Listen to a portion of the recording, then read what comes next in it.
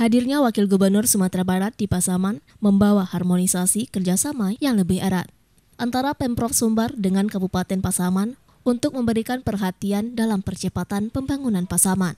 Masyarakat Pasaman berharap percepatan meningkatkan ekonomi masyarakat di Pasaman segera terwujud, mulai dari aspek pendidikan, ekonomi, SDM pertanian dan perkebunan, perikanan, dan sektor pariwisata. Dalam safari Ramadan tersebut, Wakil Gubernur Sumatera Barat Audi Joinaldi juga apresiasi pemerintah Kabupaten Pasaman atas percepatan pembangunan infrastruktur yang dilakukan pemerintah Kabupaten Pasaman. Terkait pembangunan di Pasaman, Audi mengatakan bahwa suksesnya pembangunan di Kabupaten Pasaman dapat dicapai melalui kerjasama dan sinergitas antara pemangku kepentingan pembangunan dan pemerintah, terutama dalam sinergi antara pemerintah, provinsi, dan pusat. Wakil Gubernur mengingatkan pemerintah daerah dan masyarakat agar bersama menekan angka positivity rate COVID-19. Karena beberapa minggu belakangan ini di Sumatera Barat tertinggi sepanjang sejarah penanganan corona, yaitu empat besar di Indonesia, bahkan sudah menyentuh angka 21 persen.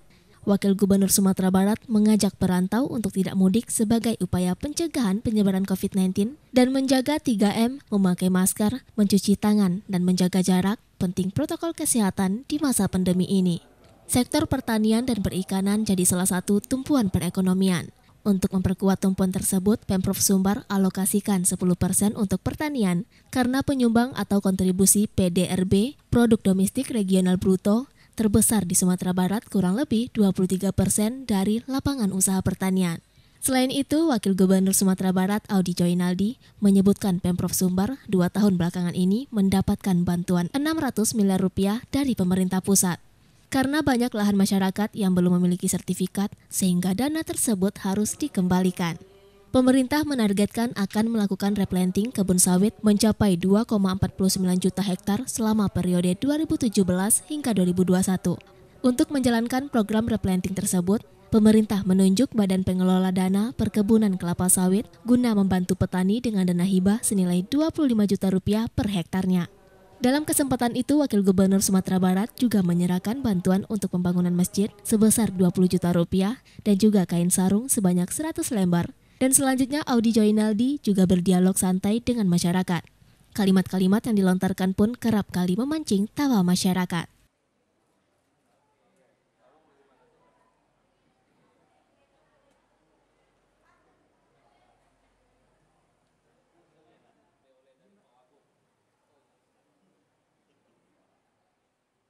Uh, kami himbau nanti bupati kabupaten yang memang disasar yang memang komunitas-komunitas utama sawit. Ini untuk sawit rakyat ya? Replanting sawit rakyat. Nah ini kita memang ingin push supaya betul-betul banyak yang bisa tersalurkan dan hanya kan juga membantu rakyat. Ya, memang ada syaratnya adanya bukti kepemilikan lahan. Nggak, nggak harus sertifikat nggak ada juga uh, ya girik atau apa gitu.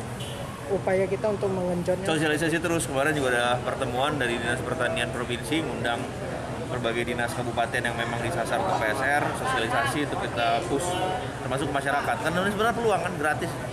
Permasalahan selama ini. Uh, ini. Tidak satu kekurangan benih yang tersertifikat baik nah ini juga tantangan nih kita artinya mesti banyak uh, nursery nursery ya. Dan benihnya nggak boleh benih asalan benih yang harusnya ada sertifikatnya. Terus uh, permasalahan kedua kepemilikan lahan. Kepemilikan lahan bukti kepemilikan lahan. Karena kan ini kan untuk uh, rakyat atau artinya kelompok-kelompok tani, kelompok uh, tani, kelompok perkebunan gitu. Permasalahan itu.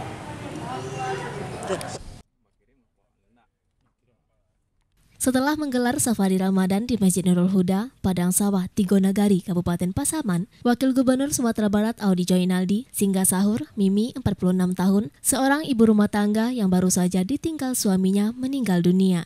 Mimi tidak menyangka akan sahur bersama Wakil Gubernur Sumatera Barat Audi Joinaldi di rumahnya. Dia juga bersyukur Wakil Gubernur Sumatera Barat Audi Joinaldi menyerahkan bantuan untuk bedah rumah. Mimi merupakan warga Jalan Nuri 1 nomor 11 Nagari Tanjung Baringin, Kecamatan Lubuk Sikaping, Kabupaten Pasaman, yang sehari-hari berprofesi sebagai petani, tak henti-hentinya mengucapkan rasa syukur.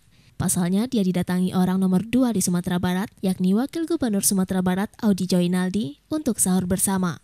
Wakil Gubernur Sumatera Barat disambut Mimi beserta keluarganya. Tangis Mimi pun pecah saat Wakil Gubernur Sumatera Barat itu memberikan bantuan dari Basnas yakni untuk membedah rumahnya. Rumah Mimi sendiri terbuat dari papan. Rumah tersebut nantinya akan dibedah dengan bantuan sebesar 25 juta rupiah. Menurut Wakil Gubernur Sumatera Barat Audi Joinaldi, Singgah Sahur merupakan program dari Pemprov Sumbar yang dilaksanakan setiap tahun untuk membantu membangun warga yang rumahnya tidak layak huni. Audi menyebut untuk program bantuan bedah rumah bertajuk Singgah Sahur, dia mendapatkan tiga, salah satunya bagian utara Provinsi Sumatera Barat, yakni Kabupaten Pasaman. Audi menambahkan untuk kriteria penerima program tersebut adalah orang-orang yang tidak mampu dan rumahnya tidak layak huni. merupakan salah satu program yang ada di Sumbar setiap tahunnya. Saya pribadi dapat, insya Allah dapat tiga lokasi ya. Ini yang pertama nah, hari ini di Pasaman ya, mewakili bagian utaranya dari Sumatera Barat. Memang uh, ini bukan dari kami tapi dari Basnas. Kita seluruhkan melalui Basnas. Jadi artinya ini adalah zakat yang dihimpun dari seluruh masyarakat Sumatera Barat. Kita salurkan kepada tentunya orang yang berhak menerimanya. Kami bersyukur ya dapat bantuan. Terima kasih banyak. Semoga yang membagi bantuan mendapat aku lah ya. Tak nak nyangkut itu tak tahu kami dah ikut ibu pipi ya. Dari Kabupaten Pasaman, Sumatera Barat, tim iNews melaporkan.